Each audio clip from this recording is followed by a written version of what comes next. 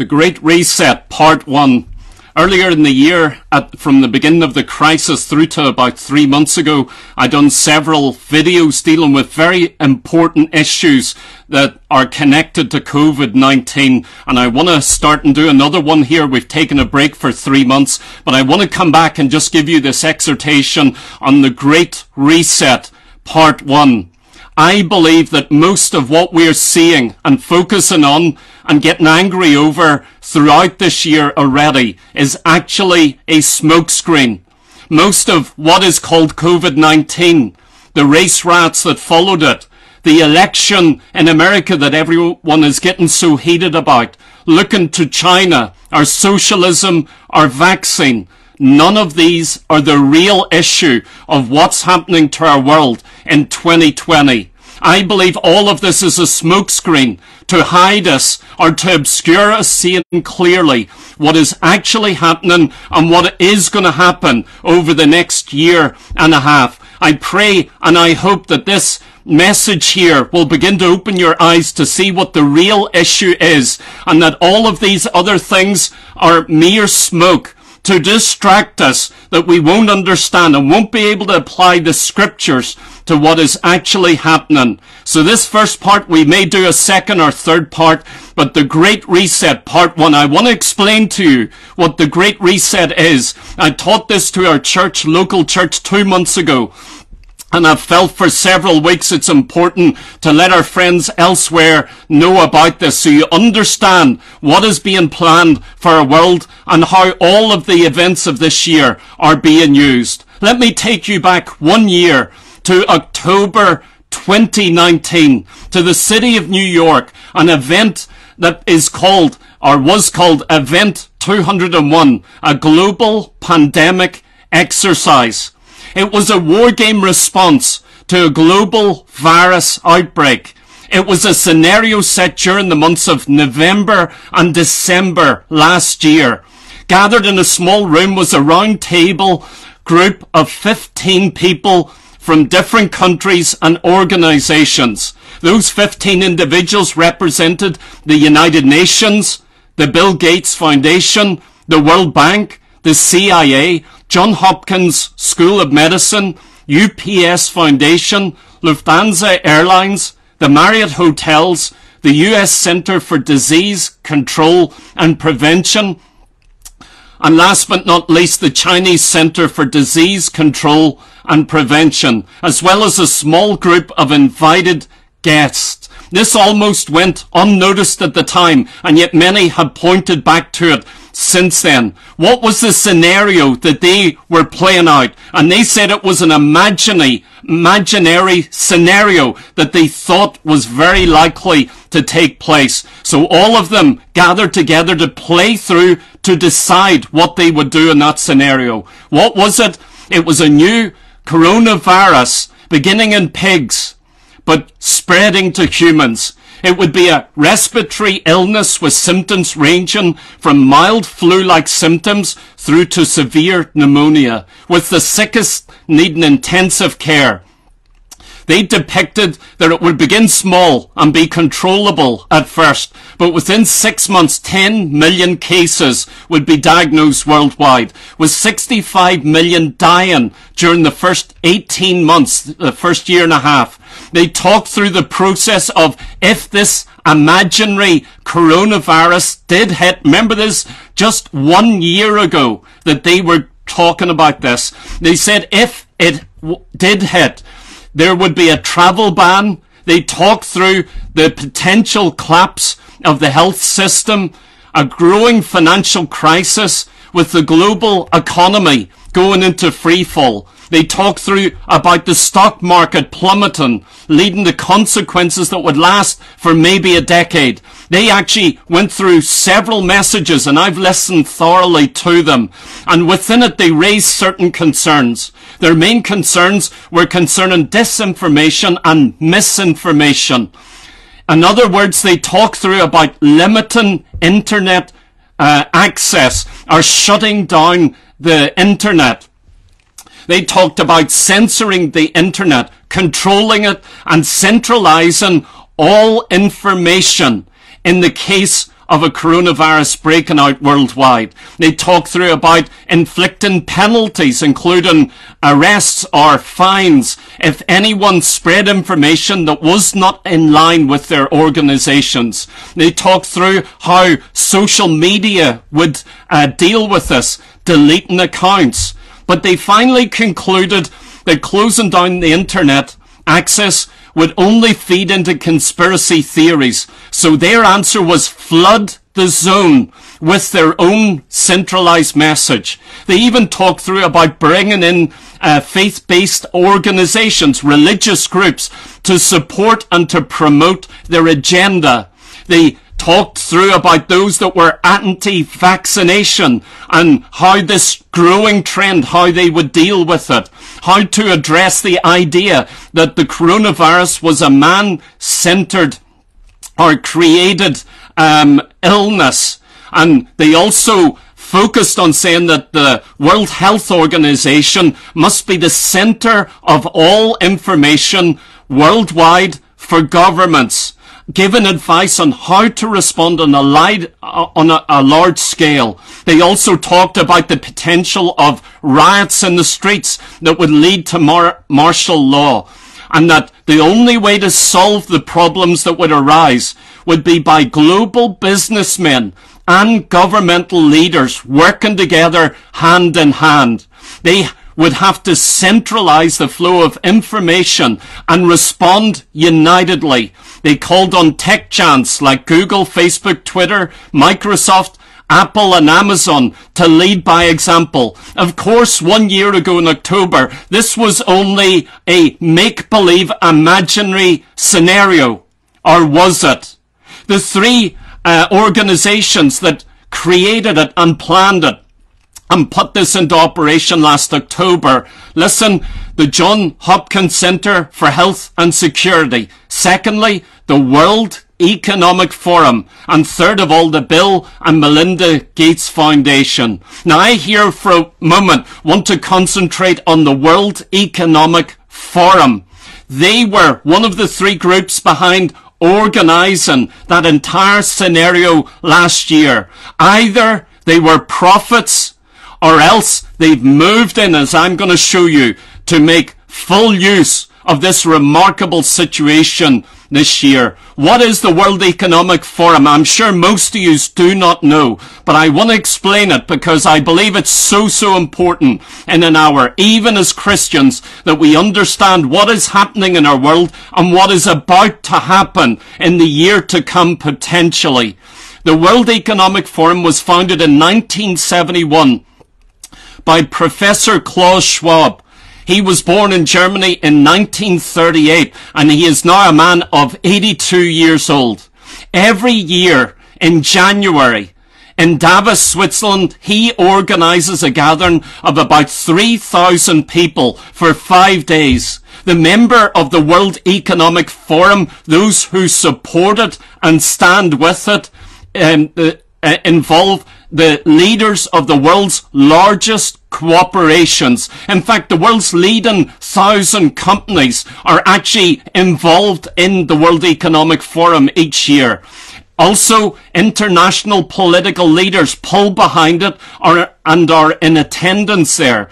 Also, economic leaders like the leaders of the global banks and the International Monetary fund. You also get many celebrity celebrities uh, being involved in it, like Bono of U2 here in Ireland, who will speak out on political and economic issues, and he's there as a mere face to do that. Also, many journalists from all of our nations will be involved with this. In January 2020, at the beginning of this year, representatives from 117 countries, representing 121 nationalities, gathered in Davos for the 50th anniversary of the World Economic Forum. They invited President Trump to speak to them, and although he spoke contrary to most of their ideals, yet because of being such a vital person, they had him there. The World Economic Forum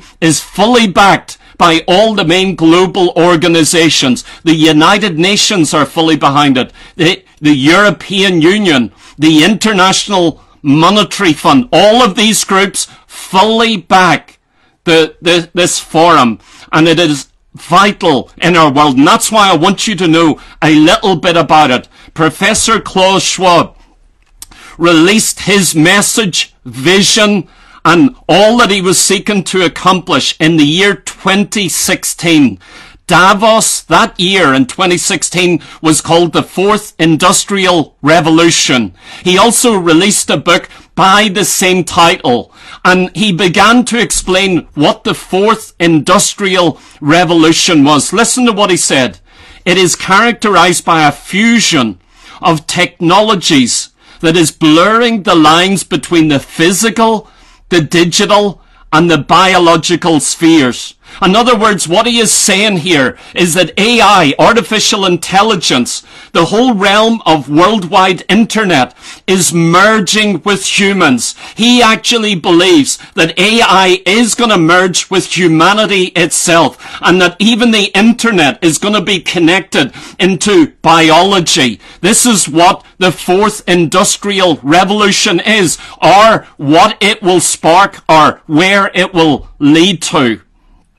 He promoted that this new industrial revolution is going to challenge the idea of what it actually means to be human itself. He says it will happen fast at breathtaking speed, like a tsunami. Everything is going to be digitalized. Our world is going to totally change. Remember, this is the organization and the man behind organizing one year ago a scenario that we have just passed through in the past year. I do not take this lightly when men like this speak. You see, he said that everything is going to get digitalized. This is their plan. And four years ago, he released this pattern and plan for governments and businessmen to work together on it. He talks in his book about digitalizing the entire education system. How do you do that? You move it away from the hands of individual teachers in the classroom to be in a computerized system online where you are taught by more than just a local teacher. He says that it, every area is going to get digitalized. The public sector, all jobs, the health system, and even government. With government, everything within that nation is going to begin to unify all the sectors through a digitalized online system is going to be united and molded into a unified system. This is what the fourth industrial revolution is. It will affect income. And involved with all of this will be a new worldwide wealth distribution. He believes that internet is vital to what is going to happen and that everything is going to be forced online. We will go cashless, that people will begin working from home. Friends, this wasn't released this year. This was four years ago. He put all of his thoughts, all of his ideas in a book. And every year, all the top government uh, leaders and politicians and businessmen gather to hear the latest message of the World Economic Forum. Well, that same year, at Davos in January 2016, he introduced this master plan for the fourth industrial revolution and where we're going to head to. He spoke also at the World Government Forum, spreading these same ideas. And he also coined more recently, just last year, a new term called globalization 4.0. That term was actually coined to signal the coming shift in globalized structures. Everything is going to be globalized and digitalized. This is their plan. In fact, to bring all of this in, they said we need a time, we need an opportunity in which to remold change. And what better opportunity than 2020? Never have they had a better opportunity than now. And to make a massive change than in this year.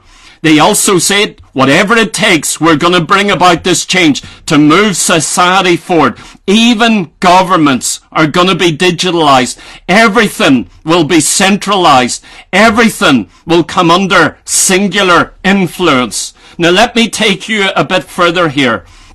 Just to last year, to June 2019, at the United Nations headquarters in the city of New York, there was a meeting between two leaders of two organizations. The United Nations Secretary General met with Klaus Schwab of the World Economic Forum and they signed a contract at that meeting. And in fact, this is the fourth industrial revolution. It is the union of the World Economic Fo- Forum of the whole business realm with the UN, the political uh, uh, institution that that is so influ- influential in our world. They, that actual document that they signed is called the Strategic Partnership Framework. It is a new coming together to create a new social contract. And if you know anything about this, they are redefining what it means to be nations, what it means to be a society, and how individuals actually respond to governmental or uh, business institutions. So they're redefining how our entire world operates. When you get an organization like the World Economic Forum signing a covenant with the United Nations, it is big. It is major. Now, saints, listen further here. It says that this was signed to accelerate or to speed up the implementation of the 2030 agenda for sustainable development. The partnership identifies six areas of focus. Listen to what they are. Number one, financing the 2030 agenda. Number two, climate change. Number three, health. Number four, digital cooperation. Number five, gender equality and the empowerment of women. Number six, education and skills. This document signed between a business organization and a governmental organization was agreeing on this to speed everything up. This is the fourth industrial revolution. Experts watching this signed agreement got very disturbed. They said it formalizes a disturbing cooperate capture of the UN or the businessmen moving in to influence the biggest global political institution of our day. They went on to say it moves the world dangerously towards a privatized and undemocratic global governance. A very dangerous thing. In other words, power is moving towards the World Economic Forum and away from individual nations and countries. And oh, have we seen it this year. Business leaders gain power with the United Nations. It's only meant to be politicians who have power in the UN. Now we have this institution of money men, businessmen moving in to sign a covenant and contract that's going to influence it. People watching it actually at the time said a, it was a coup for the corporate leaders at Davos to move in on the political institution of the UN. The UN is not the leading uh, um, entity that it used to be. It things are changing in our world radically at this particular time. It's moving towards an increasingly privatized and less democratic global governance of our world. The UN actually relies heavily upon being financed by the businessmen that make up the World Economic Forum. It is vital to them. The UN relies on the finance of the WEF. At the heart of Schwab's revolution is an accelerating convergence between um, all areas of society. Listen to a quote from him here. A technological revolution that will fundamentally alter the way we live, we work, and we relate to one another. It's in a scale, a scope, and a complexity. It is the transformation will be unlike anything humankind has ever experienced before. We do not yet know just how it will unfold. But one thing is clear. The response to it must be integrated and comprehensive. In other words, what he is saying, it's got to be everything centralized and it's got to cover everything in our world. Again, quoting, involving all stakeholders of the global polity from the public and private sectors all the way through to academia and civil society. This fourth industrial revolution, and it is a revolution, is going to transform every single area of society. Economics, politics, education, health system, every single area. This revolution that he's talking about and they're implementing it in a very real way is going to be global. Remember, this is the institution that played out the entire scenario of this year just one year ago in October, way before the, this COVID had broken out in Wuhan. Way before anything had happened, they were talking all these things through and we've seen it in the past year. I hope I've got your attention here at the minute. And this is only part one. I'll give you more important stuff in part two. So we see them joining together with the UN or infiltrating in a political means.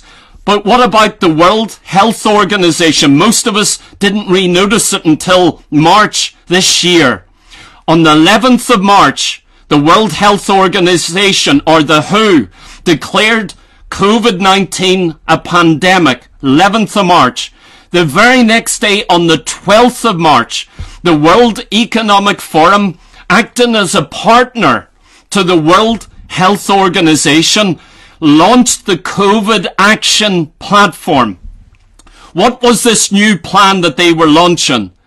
They said it was the first ever of its kind and it aimed to convene the business community for collective action, drawn all the businessmen in to come behind the, the WHO to act in unison as one body. They were going to act to protect people's livelihoods and facil- facilitate business continuance and mobilize support for COVID-19 response. The forum that they launched in March this year was a new community bringing together experts from the World Health Organization with business leaders from around the world which would hold regular virtual meetings, and they have done since March, to boost collaboration. Initially, they had 200 business leaders. Within two months, they had 700 of the top business world leaders, this is beginning in March, coming behind the World Health Organization. See now in our world, and since then, governments began to give billions of taxpayers' money to organizations like the World Economic Forum, as well as the Gates Foundation. Billions of our tax uh, money. Well, it was in May the 4th that the European Union and several European governments held a COVID-19 donor convention or conference and pledged 7.4 billion euros of tax money towards this end. The money will be given to organizations like the World Economic Forum in a non-transparent way. And uh, do you know, previously for a long time, Bill, men like Bill Gates, they actually had to pay money and give money to governments to gain influence into these institutions. Now our world governments are paying men like Bill Gates and the World Economic Forum for them to operate in the midst of this. Let me bring you right down to something very contemporary. And this is what I want to leave you with. And this is my main thrust here. The Great Reset. What is the Great Reset? I believe it's very important that you know that because it's going to take place over the next year and a half. I fully believe that. On Wednesday, the 3rd of June, 2020, this year, just a few months ago, while the rest of the world was preoccupied with the pandemic, a looming global depression and by race riots that started in the US and spread around the major cities of our world. While everyone was focusing on these things, the World Economic Forum quietly announced the releasing of their Great Reset Initiative. You say, what is the Great Reset? I'm going to tell you. The announcement of the Great Reset Summit was made by the Prince of Wales, Prince Charles of the British Isles, and also by the World Economic Forum chairman Klaus Schwab. Here he is again in the center of this. And they released this agenda of the Great Reset during a, a, virtual meeting. They actually gave several lectures involving world leaders in economy and world politics, all speaking about the vitalness of the Great Reset. The UN, the, the um, International Monetary Forum, all of these groups came together to say, we are announcing the release of the Great Reset. None of us heard it at the time. None of us noticed it as they're doing it. We are all focused on all of the smokescreen of everything else that is happening in our world. They began to release adverts and teaching and begin th- to release their agenda there in June. Also in June 20, uh, 2020, and that same time, uh, Schwab, our friend again, released his another book called The Great Reset. And in that book, it explains what the Great Reset is. It is the world leaders' radical plan to transform world economy. In other words, to reset or restart the world economy. And I will say more in the second message on this. He actually predicted in that book that worldwide wealth redistribution at the end of COVID-19. He says in there that there's going to be an, a total rethinking and strengthening in, of governmental power. He talked that because of COVID, that the power of government is going to be intensified. The role is going to be extended in your life and my life and that there be greater intervention by individual governments in all of our lives. In that book, he says the nation state isn't the best way to govern our world. We need a, a worldwide global government system in the hands of one centralized power. But he says at the minute all we have is local governments. But he is looking for a global government or for all the ability to respond to a crisis to be in the hands of one entity, one organization, one global institution that can respond. He also says in the Great Reset that in this world economic reset, the, the resetting of the world financial system this is what they're talking about. The same people who talked about the coronavirus one year ago and how they would respond to it. They're now talking through how they're going to restart the whole worldwide economic system. They talk about also increased taxation within each nation and that somehow they're going to redistribute the world's wealth in this time that's to come.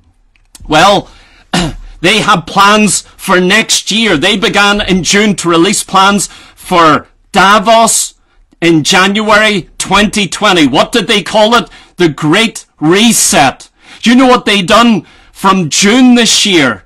They activated or stirred up their network of nearly 10,000 global shapers in 428 cities of the world, in 148 countries who were to be activated for the purpose of going out and finding a young generation who they can hand this master plan over to. They were looking for the high flyers, the rich, the young businessmen who are coming up through. They're looking for a young generation who are thinking, those who they can hand their ideas to, to a generation that they can mold in order to change our entire world. They wanted to implement their master plan called the fourth industrial revolution.